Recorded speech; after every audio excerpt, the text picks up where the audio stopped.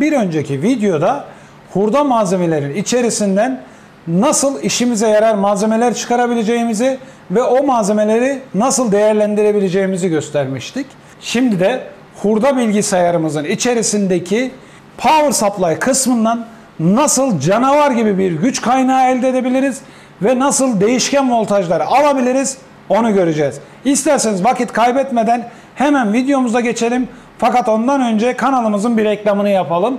Bu tür teknik ve bilimsel konulara ilgi duyan ve merak olan arkadaşlarım varsa lütfen kanalımıza abone olmayı ve bildirimlerini açmayı unutmasınlar. Beğendiğiniz videolara like atmayı ve yorumlarda bilgi, deneyim, tecrübe ve fikirlerinizi lütfen bizimle paylaşmayı unutmayın. Hemen şimdi gelin bilgisayarımızın kasasının içerisindeki power supply nasıl sökülür önce onu görelim.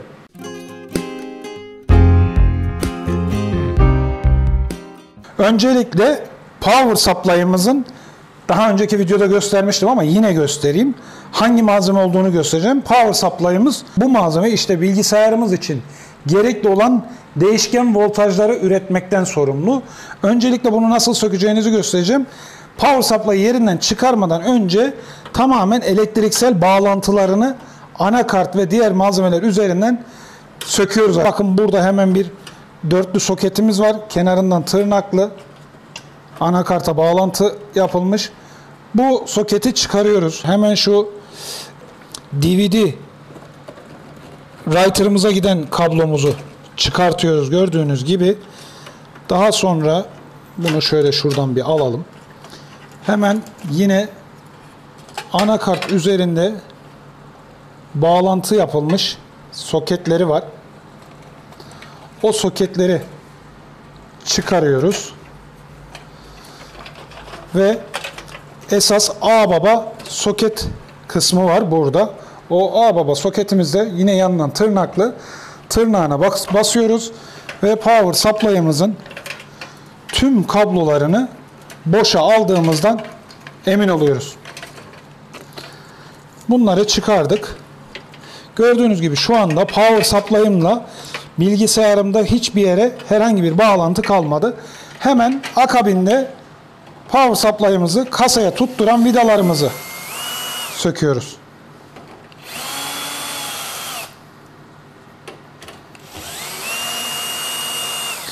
Bu, bu kasada 4 tane vidayla tutturulmuş. Fakat başka power supply'lar başka kasalarda farklı yerlerde ve farklı sayılarda vidayla tutturulmuş olabilir. Siz sökeceğiniz zaman ona dikkat ederek sökün arkadaşlar. Gördüğünüz gibi canavar olan güç kaynağımız bu. Şimdi neden bu güç kaynağı canavar ve bize nerelerde ne gibi işlerde lazım olur? Hepsini detaylı bir şekilde anlatacağım. Ama ondan önce videomuzun sponsoru olan JLC PCB firmasının bir reklamını izleyelim. JLC PCB firması gördüğünüz gibi arkadaşlar çok profesyonel baskı devreler yapabilen bir baskı devre firması. Bu adamlar 5 tane 10 santime 10 santim kadar PCB'yi 2 dolara basıyorlar sevgili arkadaşlar. Eğer siz de tasarladığınız, çizdiğiniz baskı devreleri profesyonel olarak bastırmak istiyorsanız GLC PCB firmasıyla çalışabilirsiniz arkadaşlar. GLC PCB'nin linki aşağıda açıklamalar kısmında olacak. Linke tıklayıp o link üzerinden siteye çizdiğiniz baskı devrelerin Gerber dosyasını yükledikten sonra siparişinizi dört dörtlük bir şekilde GLC PCB firmasına verebilirsiniz. Power supply'ımızı söktük ve 220 fişimizi prizimize taktık. Hemen power supply'ımızın bakın bu kısmında bir açma kapama anahtarı var. Fakat bu açma kapama anahtarı power supply'ın çalışması için yeterli değil. Bakın ben power supply'ı açsam dahi bu anahtar üzerinden çalışmayacak. Çünkü power supply'ımız yani güç kaynağımız Türkçesini söyleyelim. Güç kaynağımız bilgisayardan bir komut gelmeden açmayacak. Siz bu anahtarı açsanız dahi illaki bilgisayarın açma kapama tuşuna basmanız lazım. İşte o tuş bu güç kaynağına başlatma komutu gönderiyor. Siz o tuşa bastığınızda buradaki soket üzerindeki bir kablo şimdi göstereceğim birazdan komutu algılayıp güç kaynağının aktif duruma geçmesini çalışmasını sağlıyor. İsterseniz kamera şöyle yaklaşsın ve hangi kablo güç kaynağını aktif hale getiriyor size onu göstereyim. Güç kaynağımızın çalışması için bizim bilmemiz gereken bazı bağlantılar var. Bazı derken aslında bir tane bağlantı var da gerisi güç kaynağında kullanacağımız voltajları alabileceğimiz uçlar. Bakın burada bu ana A baba soket dediğim soketin üzerinde bir tane yeşil kablo var. Bu yeşil kablo güç kaynağımızın start kablosu, başlangıç kablosu. Biz bu yeşil kabloyu GND yani şaseye nereden verirsek verelim bir şekilde şaseye verdiğimizde güç kaynağımız aktif duruma geçecek ve voltaj üretmeye başlayacak. Şimdi voltajın olmadığı durumda şöyle bir göstereyim size. Bakın. Şimdi bağladım ve şu anda gördüğünüz gibi güç kaynağımda herhangi bir aktivite yok. Yani fanı çalışmıyor, çıkış voltajı yok ve tamamen sessiz durumda. Hemen bu yeşil olan kabloyu siyah olan yani GND olan herhangi bir kabloyla birleştirdiğimde gördüğünüz gibi güç kaynağımın fanı çalıştı. Kamerada gözüküyor mu bilmiyorum. Ve güç kaynağım voltaj üretmeye başladı. Bakın 12.20 volt. Şu anda güç kaynağım tamamen aktif durumda. Ben bu bağlantıyı kesersem tekrar güç kaynağım pasif duruma geçecek yani çalışmaz hale geçecek. Gördüğünüz gibi voltajımız da sıfırlanmış olacak. Güç kaynağımızın çalışma ucu gösterdiğim gibi yeşil kablo. Bu kabloyu herhangi bir siyah kabloya çünkü siyah bu güç kaynağında şase demek. GND, ground ucu. Yeşil kabloyu nereden verirseniz verin bir şekilde şaseye verdiğinizde güç kaynağınız çalışmaya başlayacak. Neden bu güç kaynağına canavar dediğim mevzusuna gelelim. Bakın güç kaynağımın ürettiği voltajlar. 12 voltta 12 amper, 5 voltta 16 amper, 3.3 voltta 10 amper, eksi 12 voltta 0.8 amper gibi voltaj değerleri var. Başka değerler de var. Göstereceğim şimdi onları sizlere. Onun için ben bu güç kaynağına canavar diyorum. Yani 12 volt 12 amper bayağı iyi bir değer. Bu 12 volt 12 amperle 144 Watt'a kadar bir cihazı rahatlıkla çalıştırabilirsiniz ki birazdan biz çalıştıracağız. Denemelerini yapacağız. Hiç merak etmeyin. Bu yazan voltajların dışında bir de güç kaynağımızda eksi 12 volt ucu var. Eğer bu güç kaynağından yararlanmak istiyorsanız şimdi söyleyeceğim kabloların renklerini ve ürettiği voltajları not alın ki herhangi bir yanılmaya mahal vermeyelim. Şimdi güç kaynağımız üzerindeki sarı kablolar artı 12 volt ucu, kırmızı kablolar artı 5 volt, turuncu olan kablolar 3.3 volt. Hemen şurada bir de mavi kablomuz var. Bakın. Bu mavi kablomuzda eksi 12 volt ucu. Bu kablolar standart tüm güç kaynaklarında aynı renklerde kullanılıyor ve aynı voltaj değerleri üretiliyor güç kaynakları tarafından. Şimdi güç kaynağımı ben aktif duruma geçireceğim ve tüm voltajları size göstereceğim. Tüm alacağınız voltajlar için daha doğrusu güç kaynağımızın normalde verdiği voltajları alabilmek için eksi ucunu siyah kabloları kullanıyoruz. Herhangi bir siyah kablo bizim eksi yani güç kaynağımızın eksi ucu olmuş olacak. Sarı olan kablo biraz önce söylediğim gibi 12 volt 12 amperlik kablolarımız. Kırmızı olan kabloya şimdi artı ucumuzu alıyorum ve artı 5 volt ürettiğimizi gördük. Hemen turuncu olan kablolarımıza bağlantı yaptığımızda gördüğünüz gibi 3.4 volt. Mavi olan kabloyla da artı ucumuzu aldığımızda eksi 12 volt. 11.60 da 12 arkadaşlar. Yani o kadarlık kusur kadı kızında da bulunur. Eksi 12 voltluk voltajımız. Diyelim ki bu güç kaynağından biz 24 volt almak istiyoruz. O zaman ne yapacağız? Hemen buradaki eksi 12 volt ucundan eksimizi alacağız.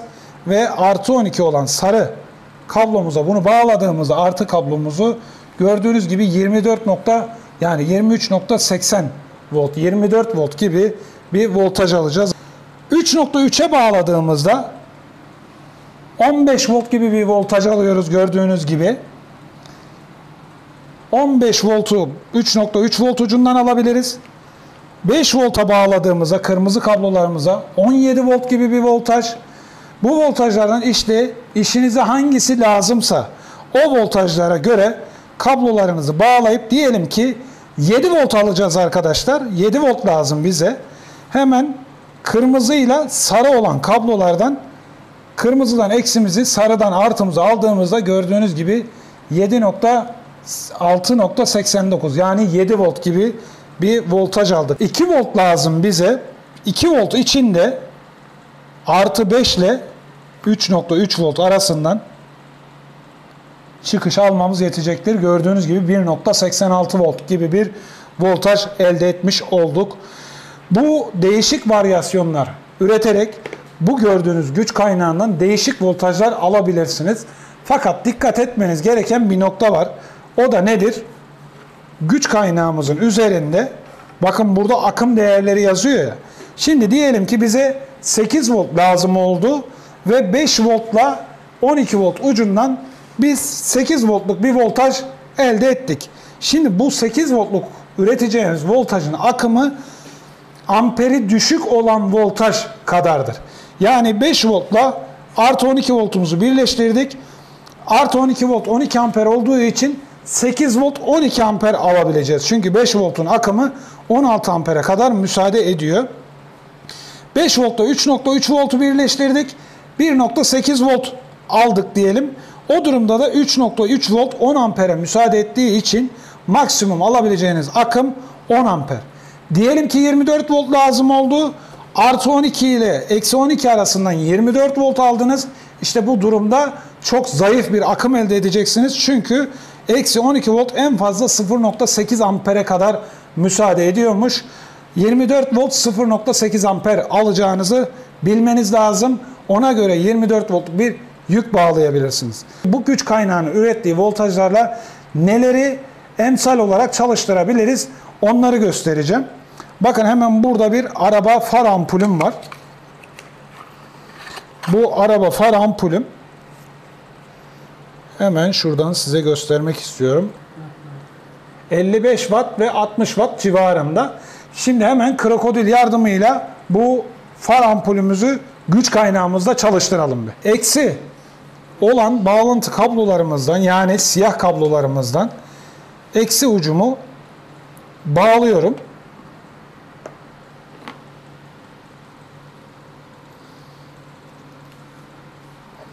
Sarı olan kablolarımda çünkü sarıdan 12 volt alıyorduk bildiğiniz gibi. Far ampulümüzde 12 volt. Onun için sarı olan kablomdan da artı 12 voltumu alacağım. Ve güç kaynağım çalışırken far ampulüme bağlayacağım.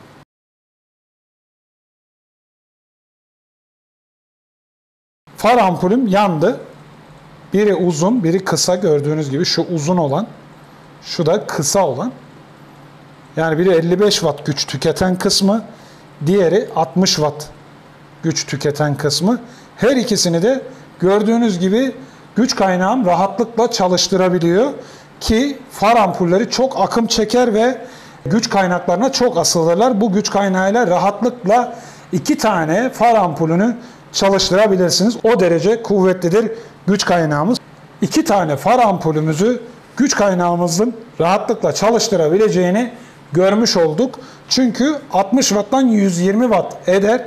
Bizim güç kaynağımız da 12 voltta 144 watt'a kadar besleyebiliyor. Onun için iki tane far ampulünü rahatlıkla çalıştırır. Bu güç kaynağıyla yaklaşık 12 voltta 20 metreye yakın 3 çipli şeritleri yakabilmeniz mümkün. Çubuk ledlerdense yaklaşık 10 tane kadarını yani 10 metreye yakınını rahatlıkla bu güç kaynağıyla çalıştırabilirsiniz, yakabilirsiniz. Onun için bu güç kaynağına canavar diyorum. 5 volt içinse 16 amper gibi bir güç alabileceğimiz durum söz konusu. Yani 5 voltla çalışan 16 amperlik herhangi bir yükü bu güç kaynağıyla çalıştırabilirsiniz. Mesela diyelim ki e, şu an aklıma gelen örneklerden kayan yazılar 5 voltta çalışıyor. O P10 paneller 5 voltta çalışıyor. Her bir panelin yaklaşık 5 amper çektiği düşünülerek hesap edilir. Kayan yazıların çekeceği akım yani 3 tane o panelden koyup maksimum hepsi bir anda çalıştığında bu güç kaynağıyla çalıştırabilirsiniz ki kayan yazılar her zaman maksimum parlaklıkta yanmazlar. Yazılar devamlı değiştiği için çekilen akım devamlı değişkenlik gösterir.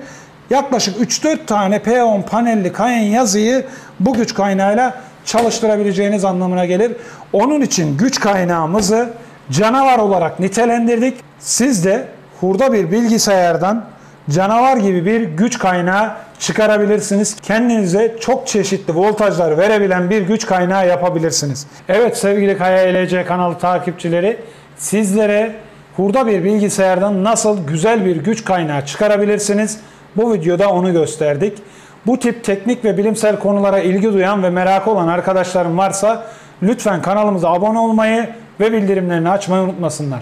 Beğendiğiniz videolara like atmayı ve yorumlarda bilgi, deneyim, tecrübe ve fikirlerinizi lütfen bizimle paylaşmayı unutmayın. Yeni bir videoda, yeni bir projede görüşünceye dek hoşçakalın.